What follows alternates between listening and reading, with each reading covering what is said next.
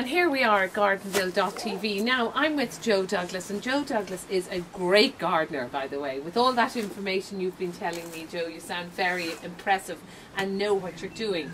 Now, you're showing me here a herb garden that's literally outside your back door. Just tell me about it. It's so organised, it's so looks so easy to just run out and grab something, go back into the kitchen and throw it into into the pot or whatever you're doing with it. What are you growing here, first of all? Well, of course, the, the idea is that it is convenient, so that just if the weather isn't great, you can just wander out and grab something, bring it into the Yeah. thing. So we have flat leaf parsley here. Right. We have um, again another version of the parsley, not quite the same, stronger taste. We have onions here, various. Onions are here. Yep. Now, would they've been planted when? Just just very very recently. Just recently, so we're in the month of April. Sort of, yeah, last month or so. Okay. Uh, there's some of them might have overwintered, but not many did. Right. Um, then we have cotton again leaves that are just for throwing into a salad. Um, yeah, I don't really know these now. Are these grown from seed or do you get Yeah, the well, it, well, some of them you get planted and some of them you grow from seed. These Right. particular ones here were, were bought as they stand.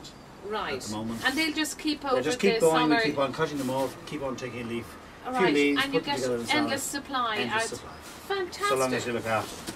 Right, and This- that means pulling off the leaf and letting it grow Oh, yeah, it, doesn't really matter. I mean, they're designed to grow very quickly, so you can, if you're sensible, you just cut them all out from the outside and the ones on the inside grow again. Within Oh, a perfect. couple of days, they're back up again, same size again, ready to be. Oh, great. Okay, now what's this? This is um, mint, Mint? Wow. or uh, Looks a bit squiggly, doesn't it, for mint? it's our mojito bush. This is the one for the What's mint, that for? The mint, the mint for the drink, and Right. um, so we, we get it. It's a, it's a, it's a French version, curly mint, and it's just perfect. It's very very strong.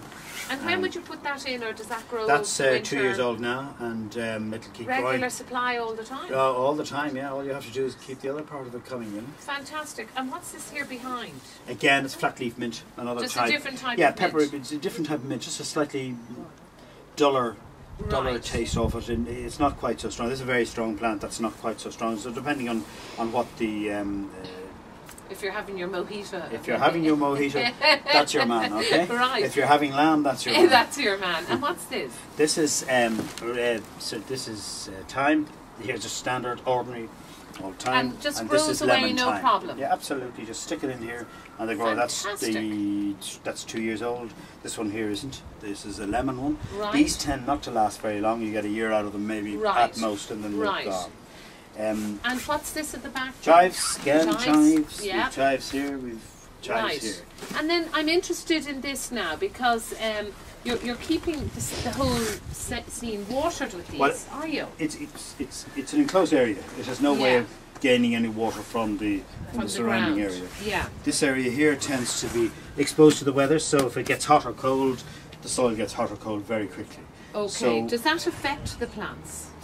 Not as much as you might think. I mean, in general, you know, this kind of weather, the ambient temperature here is quite good. It's Right. quite sheltered. It's in up against the house. Okay. The sun is coming at it for probably 60 70% of the day. Okay. So generally speaking, there isn't a big problem.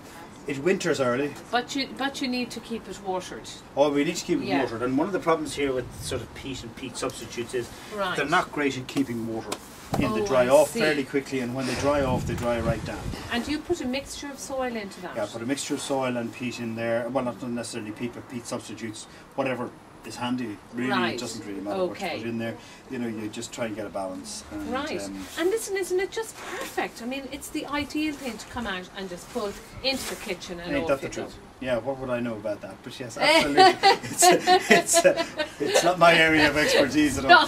No, no, yours is only here. This one, yeah. I go to about here. After that, it's somebody else's problem. So the, Okay. yeah, that's it. And, and That's again, great. it, I'd recommend it to anybody to try. It's it's de- desperately easy. You have all of the staples there that you might want. Right. There's your lamb, your rosemary Your rosemary, for yeah. your lamb, okay, and then your yeah. sage over here. And Right. so you have all the, the bits So and pieces So in a you container that size of 1, 2, 3, 4, 5, 6, 7, 8, 9, 10, 11, 12 herbs that you can Yeah, use. Easily. Absolutely easily. fantastic. Then I throw in the onions just for people to just to have an onion cl- close by. You know, often you just want an onion and that's it. So Well, um, follow us with Joe because we've got an awful lot more to show from Joe's garden. He's only beginning to tell us, so we've a number of clips coming up. If you've if you grow your own herbs or anything, we'd love to hear from you at gardenville.tv. You can send them in via email. Come on Facebook. We're on blog, Twitter. So do join us and tell us about your herb garden.